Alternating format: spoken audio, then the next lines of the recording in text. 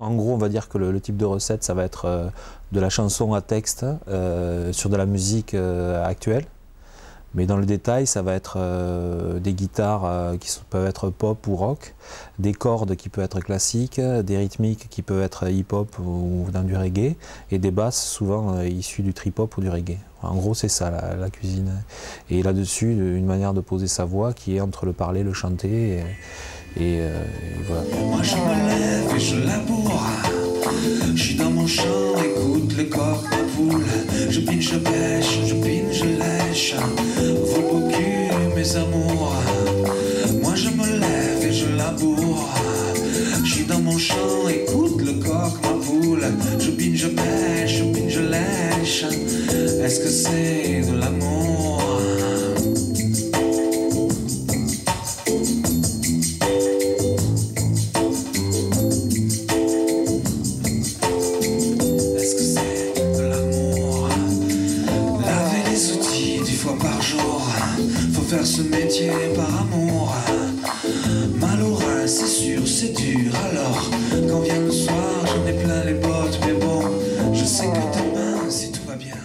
Je trouve qu'elle est plus intéressante, elle va plus loin dans le, rentre plus loin dans le, corps des autres. Euh, quand c'est dit, euh, c'est vraiment assimilé comme ça. Et après, quand c'est, je me suis rendu compte qu'en fait, on peut faire passer des phrases euh, assez, simples aussi, avec de la mélodie, mais les phrases profondes, elles, passent plus facilement en, diction. Mais le plus dur, c'est d'expliquer à quelqu'un, en tout cas en l'occurrence pour moi, c'est d'expliquer à quelqu'un le type de musique que je fais.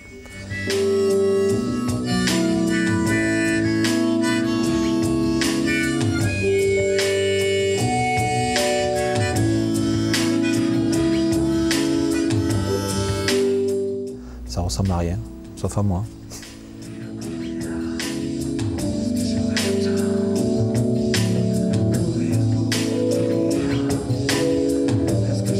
Le premier est d'abord sorti en, autoproduction en 2001. En fait, j'avais mis, mis, de côté ma, carrière de photographe et de graphiste à Toulouse. Et, euh, donc j'ai diffusé un peu, l'album, il a été repéré. Et donc je l'ai ressorti et j'ai signé chez BMG. Le deuxième, est sorti, donc, enfin, le même est ressorti en 2002. S'appelait La surface de réparation. Le, deuxième est ensuite arrivé en 2004, il s'appelait Subliminable, c'était un double album. Et le dernier, en 2008, c'était Au sommet de son arbre, euh, voilà, qui est sorti il y, a, un an, euh, quasi jour pour jour. Je suis en préparation du, quatrième qui arrivera à la fin de l'année. Je vais puiser dans les jolies choses des années 60 et 70. C'est pas du tout la gouaille à la française qui me plaît pas du tout, mais les textes à la Brassens, euh, les textes de Brel me touchent énormément. Mais la forme me plaît beaucoup moins, m'attire pas. Ce que j'aime bien, c'est la, forme, euh, la forme de musique actuelle sur des textes recherchés.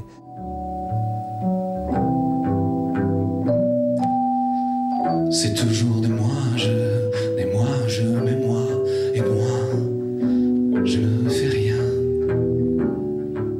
C'est le cycle de ma vie aussi, c'est vraiment des, vagues. Quoi. Alors on capte, on capte le, moment en haut ou on capte le moment en bas, et c'est l'histoire de l'artiste aussi d'aller chercher derrière la ligne rouge ce moment qui est, euh, qui est triste ou qui est, ou qui, est, fort ou qui est rigolo et, de, de, le figer.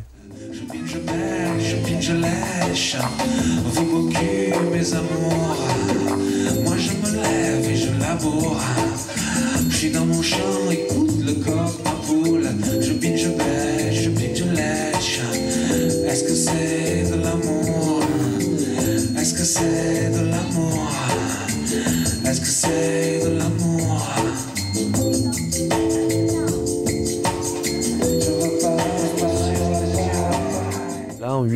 6 ans, j'avais jamais fait de concert. L'été dernier, j'en ai fait un au festival en plein air. Et là, ça a été pour beaucoup une découverte et ça un peu, c'est marrant, l'approche était différente. Jusqu'à là, ils savaient que j'allais faire de la promo à Paris, des trucs à droite à gauche, sans trop savoir ce que je faisais. Non, mais c'est très sympa en général. Hein, a pas de... Là, tout le monde est venu, euh, enfin tout le monde, tous les gens qui ont entendu parler, les, curieux, on va dire, sont venus. Mais moi, ça me plaît bien ce décalage de, de, me faire des, journées de promo parisienne et de revenir au village où, où mon voisin s'en fout complètement de ce que je fais. Où, euh, euh, J'aime bien ça, ça me, ça me gêne pas du tout, au contraire, ça me, ça me va bien. Et... mes lampes comme j'aiguise mes stylos. Ben, Sébastien Sens qui est au, piano, c'était carrément, on est voisins depuis que j'ai 15 ans, euh, je vivais à 50 mètres de chez lui.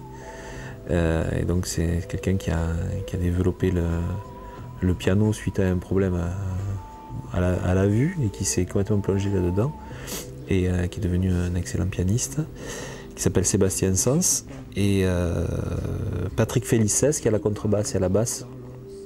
Il, il a joué avec beaucoup de monde, y compris Cali. Il a fait beaucoup d'années avec Pascal Comelade aussi, qui était une riche expérience pour la, diversité musicale. Et, voilà. Il a même joué avec Pierre Harvey, c'est tout pas mal.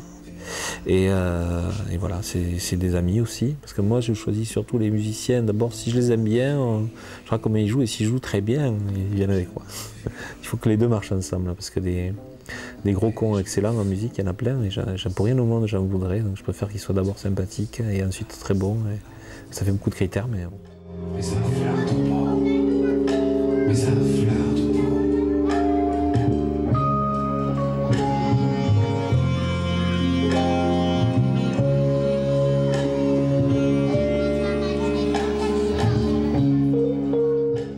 Le piano Fender Rhodes euh, Sébastien, c'est un piano électrique en fait qui a été fabriqué sur une base militaire avec euh, fait de briques et de broc au départ aux États-Unis et qui est resté avec un son mythique des années 70 qui a été utilisé dans énormément de, chansons et de morceaux. Il a un son reconnaissable, loin du piano en fait, mais euh, c'est un son vraiment tellement particulier qu'on le reconnaît entre mille. Et en tout cas, moi, il, a la douceur, il a, il a la douceur et le velouté que j'attends dans la musique. Donc c'est pour ça qu'il a pris sa place. Et puis, en main gauche, on peut, jouer des lignes de basse aussi avec, et, ça fonctionne aussi. quoi. C'est un instrument assez génial. Et la contrebasse, ce qu'il y a d'extraordinaire, c'est qu'en cas de naufrage, si tu joues sur le bateau, tu es le seul qui est sauvé parce que ça fait un petit bateau.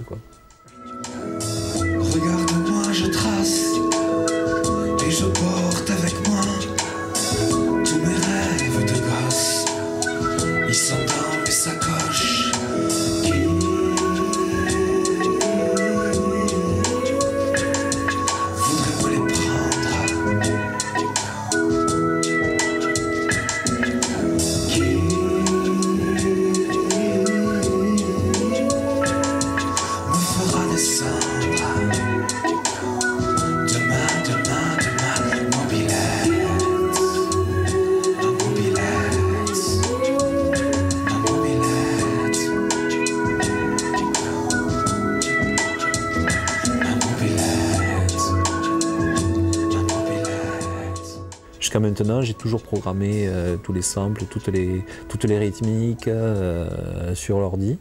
Et j'ai fait venir un, les musiciens. Là, j'ai trouvé une autre formule, c'est-à-dire que je, on, bosse sur des idées de samples ou des idées de mélodies que j'ai.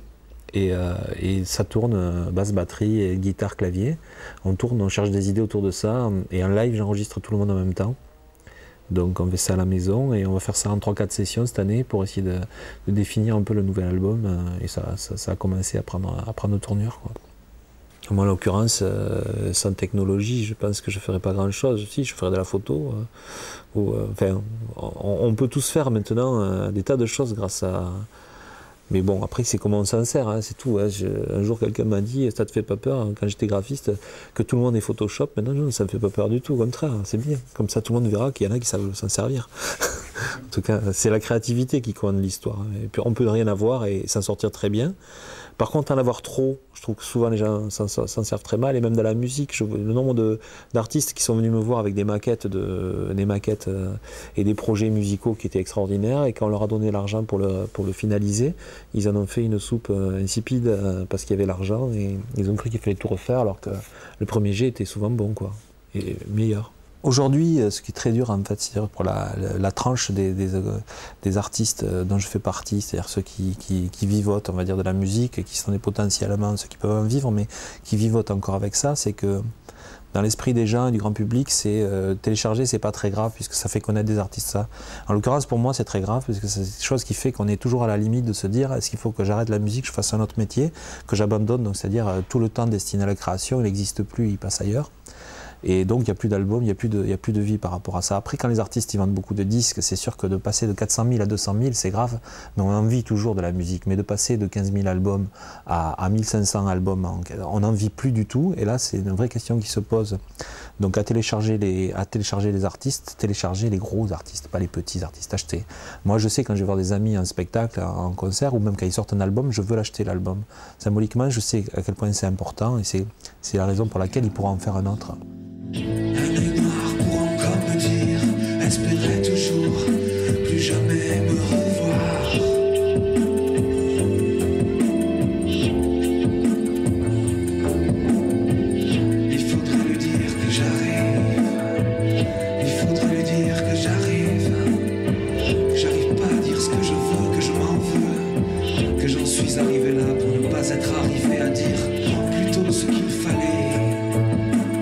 Je voulais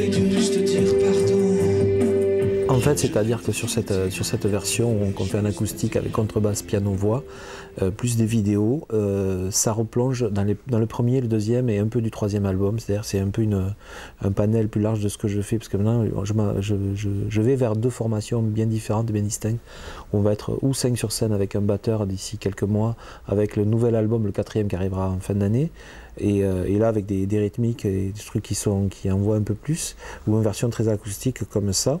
Et les visuels, là, ils ont été pensés, puisqu'il y a déjà des visuels qui sont récupérés des concerts que j'ai fait il y a 4-5 ans. À la sortie du deuxième album, il y avait déjà des visuels, plus d'autres qui ont été repensés et qu'on va peaufiner au fil du temps pour, euh, pour aller encore plus, euh, de, enfin que ça marche encore mieux avec l'image et le son ensemble, que l'image et le son marchent mieux ensemble. Je suis désolé, désolé. Y a dans tes yeux le feu, j'avais la fumée. Je suis désolé, désolé.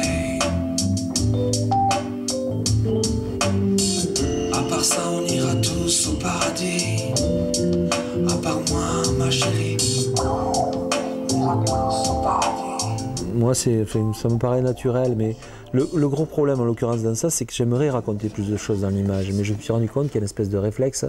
Les gens, quand on leur donne trop d'informations dans l'image, il faut, il faut- ils, ils sont plus du tout dans, l'histoire ni dans la chanson.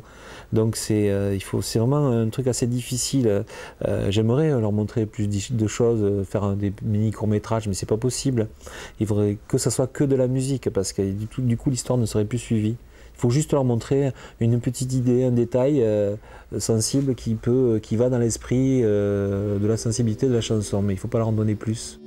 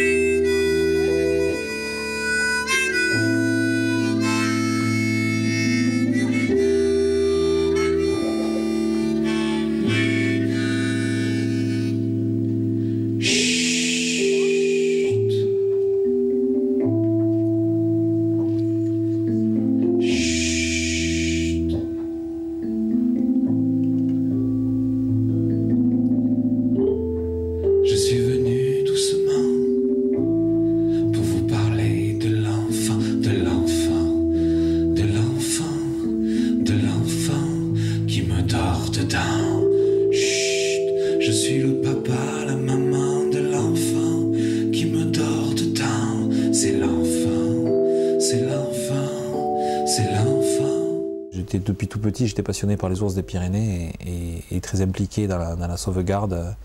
Ce qu'on a réussi à tuer, le plus bel, exemple de patrimoine français, c'était quand même l'ours des Pyrénées pour moi, bien loin devant la Tour Eiffel, puisque ça c'est irrécupérable, c'est pas un amas de ferraille, c'était magique. Et, d'avoir réussi aussi à tuer la dernière femelle d'une espèce il y a quelques années qui s'appelait Cannelle, je trouve que c'est symboliquement il n'y a pas plus fort et plus émouvant pour moi que, l'homme tue la dernière femelle d'une espèce qui était endémique aux Pyrénées.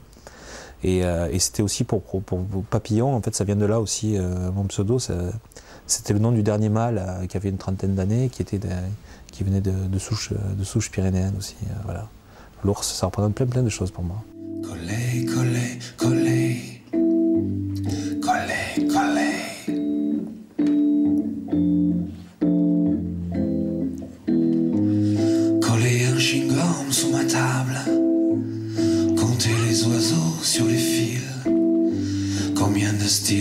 J'ai mâchouillé et puis combien de gommes j'ai dû dégommer.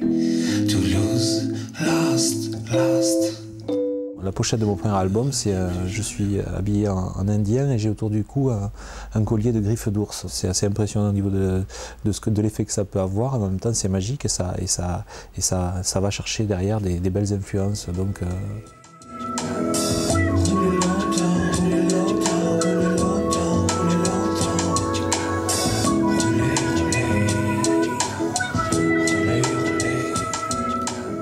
je m'occupe très bien des petits, à la différence des ours aussi. C'est-à-dire que je, je suis capable d'élever les enfants aussi.